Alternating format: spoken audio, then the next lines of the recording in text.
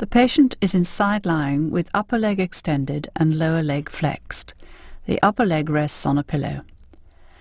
Identify the greater trochanter posteriorly with one finger, anteriorly with thumb, and superiorly with the index finger, making a triangle with the three fingers.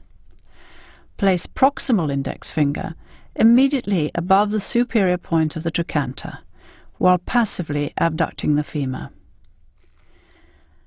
This palpating finger should dip down about two fingers proximal to the trochanter, not on the bone. Mark entry point here, clean and firmly stretched skin.